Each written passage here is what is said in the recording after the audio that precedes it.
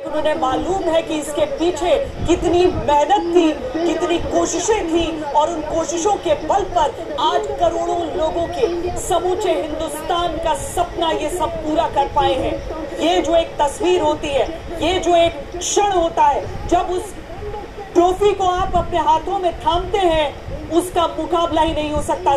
जब आप राहुल द्रविड़ को इस ट्रॉफी को हाथ में लिए देखते हैं तो देखिए कि जिस खिलाड़ी को जिस कोच को ये कहा गया कि हमेशा भावनाओं पर काबू रहता है, mister dependable, the wall, Rahul Dravid. लेकिन आज वो भी अपनी भावनाओं के सामने दीवार खड़ी नहीं कर पा रहे हैं। राहुल द्रविड़ का आखिरी दिन एक कोच के तौर पर टीम इंडिया के साथ और टीम इंडिया ने वर्ल्ड चैंपियन बन के दिखा दिया।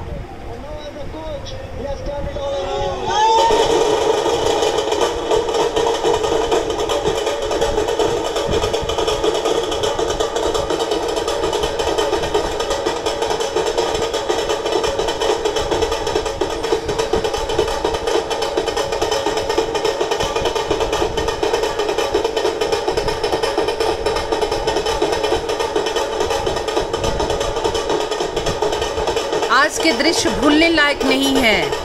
ये देखिए हमारे team India T twenty world cup जीत के आई है। काफ़ी सालों के बाद इतना हर्षित इतना आनंदित हम देख रहे हैं। ऐसा क्षण कभी नहीं आएगा।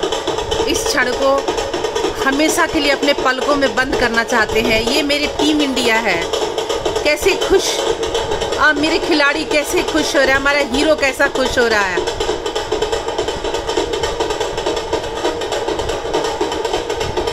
ये हमारी ट्रॉफी है। आहा, ट्रॉफी को देखिए।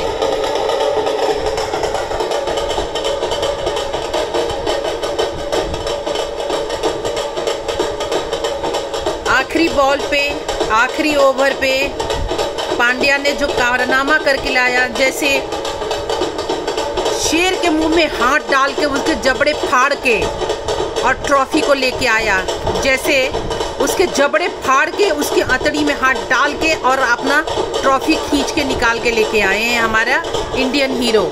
ये देखिए कितना खूबसूरत, कितना मनोहारी ये दृश्य है, जो बोल नहीं सकते। वाह।